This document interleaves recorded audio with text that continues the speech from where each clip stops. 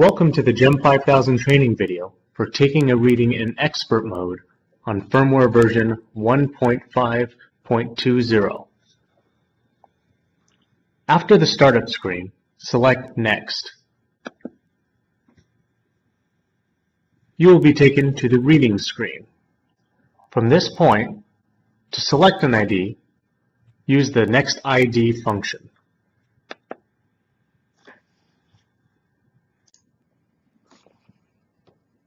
When viewing the ID list, you can use the number 2 and number 8 keys to scroll up and down through your ID list.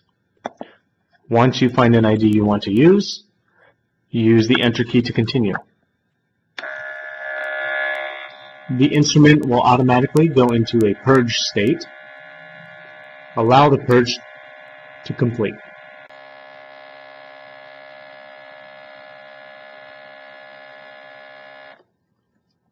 Once the purge is complete, you will get the gas readings function available on the bottom of the screen. Select the gas readings and the pump will immediately start and start the gas sample. Once the pump cycle has completed, select Initial Flow to continue to the next step. The initial gas readings will be locked into the instrument. At this point, the GEM 5000 in expert mode will not automatically prompt you to zero your pressure transducers. To do so, select the special action function from the screen. Once in, in special actions, use the number 4 option to zero the transducers. On the zero transducer screen, follow the instructions to zero the pressures.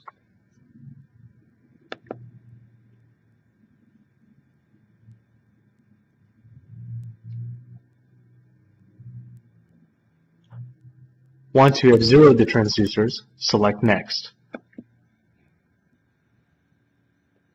Back on the reading screen, use the Flow function to begin reading pressures and flows. Once your pressures and flow have stabilized, select the Adjusted Flow function to continue.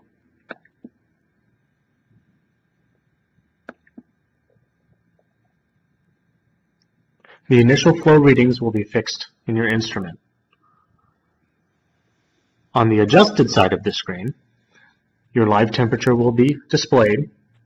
Select the flow function to read your adjusted pressures and flow.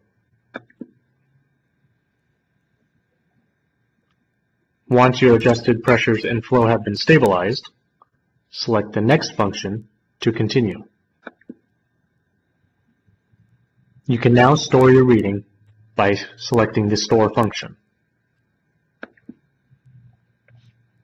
You have just successfully stored a reading in expert mode on the GEM 5000.